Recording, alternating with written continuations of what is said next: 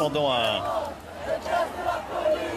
C'était pendant un concert de rap. David Guiraud, euh, Paul Sugy, vous condamnez tous les deux, évidemment. David Guiraud. Alors, moi, j'ai une pensée quand même pour les, pour les Français qui nous regardent, parce qu'il est quelle heure? Il est 7h, il est 7h13, donc ils sont probablement soit en slip, soit, euh, soit, soit en pyjama, euh, en train d'étaler leur biscotte. Faut Ah non, à Non, 7h15, mais il y a des gens qui sont déjà partis travailler. hein. Non, il fallait absolument Il y a des gens qui sont déjà euh, partis travailler à ah bah alors, 7h15. ils Il y a des ouvriers qui Oui. sont déjà. Bah, Il y a ils des usines qui ouvrent à 6h. Bah, ils ne regardent pas. Alors, bah, euh, Ou alors depuis, le- leur, voiture, mais ça me Dans l'atelier, si, si.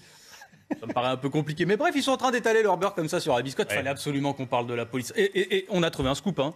Un rappeur qui a des mots pas tendres avec la police. Mais dites, si vous avez d'autres scoops de ce genre-là, moi je non, suis preneur. euh, mais ça, peut être, ça, peut être, ça peut être fait en, demi, en, en quelques secondes. Vous condamnez et puis voilà. Ah non, mais J'en ai absolument rien à faire de cette histoire. Parce que vous voyez, si vous voulez, il y a un moment, en fait, les rappeurs, comme les artistes, ils ont le droit de dire ou ne- ou leur amour, il y en a, ou leur désamour de la police. C'est se fait depuis Brassens, depuis Non, mais là, c'est la fête de On est en train de parler d'un sujet, il voilà, encore une fois, moi je vous le dis, il y a des, il y a des, il y a des Non, mais donc vous dans la vie. condamnez pas. À la France Hein Insoumise, on condamne pas. Mais, Mais c'est pas une euh, question de pas condamner, c'est que là, les gens. c'est la question. Non, c'est ma on question. est en train de cas. dire aux gens qui sont en train de, de- de boire leur jus d'orange, attendez, il faut qu'on parle de la police. On a oublié de parler de la police aujourd'hui. Donc en fait, moi, je, je vous dis Ça pourrait être fait en, en- Non, non. en une seconde.